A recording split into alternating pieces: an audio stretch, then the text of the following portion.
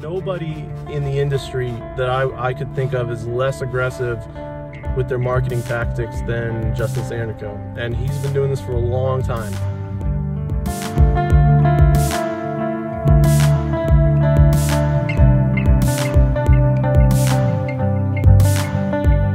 So in this episode, I just wanted to talk a little bit about the Guitar Tricks versus Justin Guitar articles that are popping up, mainly one. So when you Google that term, or any variants thereof, you are going to get the first result that comes up is going to be from a website called Voices Inc. The guy who writes the comparison is, uh, he has his name listed as Tyler S. And the article has actually gotten the attention of Justin Sandercoe, the man himself, uh, because it's just a really biased and I w- I wouldn't call it a dishonest comparison, but um, it's definitely not a good comparison. This guy Tyler tries to make the case that Justin Guitar is like what he's trying to do he's trying to funnel people into guitar tricks. Um, and and look I'm, I'm just gonna put my cards on the table right right up front. Guitar tricks and justin sandercoe's website and justin guitar are both great programs. Like they're both really good. There's there's not a whole lot of downside to either one. Now are they different? Absolutely. You know they they have different strengths. They uh, prioritize different things they're going to be useful to different people depending on what your goals are as a player or what you're after.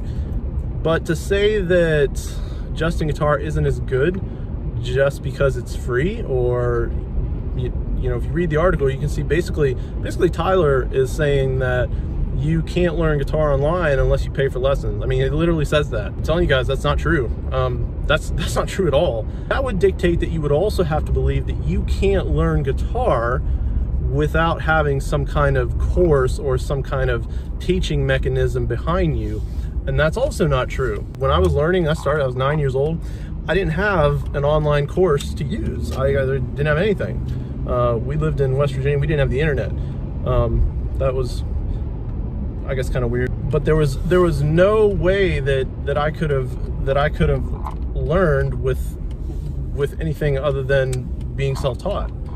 And if, um, you know, if Tyler, you know, he's starting off his article by saying that uh, you can't learn without paying for lessons, that, I mean, that's crazy. That's not true. He's, he's not being honest or he just doesn't know enough. Here's what I think is the case, is this dude doesn't know enough about guitar, doesn't know enough about music to really understand what he's talking about.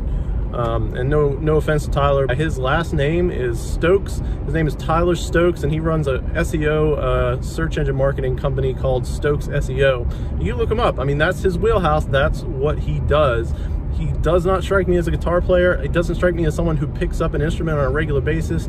Yet he's got this uh, Voices Inc. music site, and he's coming up in search results. So you know, maybe he's good at what he does. He just doesn't do music. I think if you're going to compare something like Justin Guitar and Guitar Tricks, you need to explain to your readers, you need to explain to your audience which areas those programs both excel in and which areas they prioritize and help them understand what type of person would benefit from which program. I mean, that, and he doesn't do that. He basically spends, he's got a video up too that I'm, I'm not going to link to because honestly, the video is just, the video is probably even worse than the article. Uh, he's basically, he's basically saying that that because uh, Justin Guitar sells DVDs and because he sells books, that you're going to kind of end up paying the same amount as you would pay for guitar tricks. That's nonsense.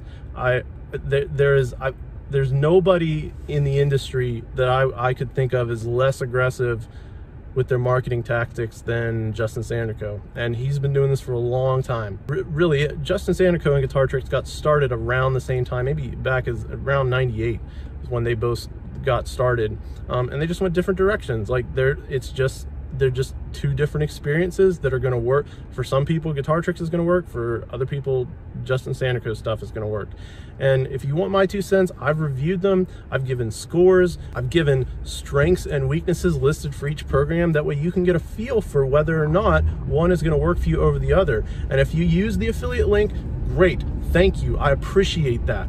I think guitar tricks is a great program. I recommend it. But i'm going to link to justin guitar too and if you want to use him don't use the affiliate link. Like that that's that's no skin off my back. I would rather you get the program that's going to work for you and not and not have you just be funneled into a paid program just just because because of the commission. Like I'm not going to do that.